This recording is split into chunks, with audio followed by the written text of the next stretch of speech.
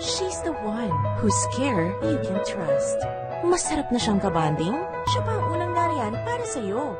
Kaya ngayong buwan ng Mayo, show your love and appreciation by tweeting us your Mother's Day message and photo gamit ang hashtag na ito. Get a chance for you and your mom to see it on air starting on Mother's Day weekend. Happy Mother's Month mula sa GMA, kapuso ng bawat nanay.